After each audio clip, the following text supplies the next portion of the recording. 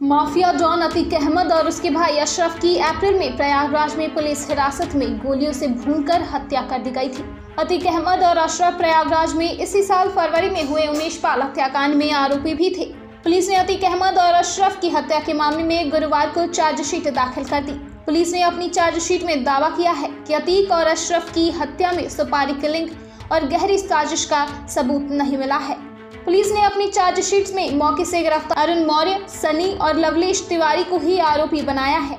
SIT की तरफ़ से दाखिल की गई चार्जशीट पर कोर्ट ने संज्ञान लेकर प्रतापगढ़ जेल में बंद तीनों आरोपियों को शुक्रवार को तलब किया है। दरअसल 24 फरवरी को प्रयागराज में दिन दहाड़े उमेश पाल की हत्या कर दी गई थी। उमेश पाल की पत्नी की शिकायत पर पुलिस ने अतीक अहमद और उसके भाई अशरफ, उसके बेटे असद समेत नौ लोगों को आरोपी बनाया था।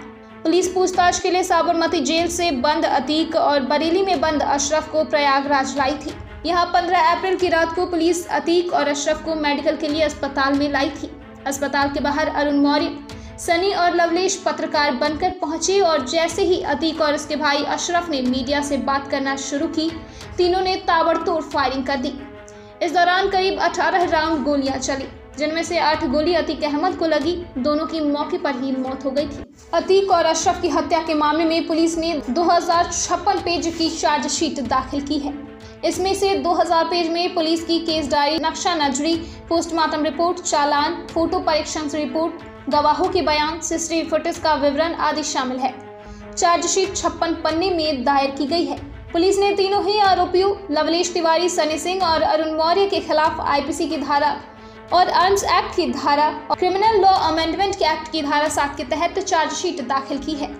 चार्जशीट के मुताबिक पुलिस को अतीक अशरफ की हत्या में किसी भी तरह की सुपारी किलिंग, कोई बड़ी साजिश या अन्य मास्टरमाइंड के इशारे पर हत्या किए जाने के कोई सबूत नहीं मिले हैं। पुलिस ने तीनों आरोपियों के पड़ोसियों, रिश्तेदारों और दोस्तों के बयान को भी अपनी जाँच का हिस्सा बनाया।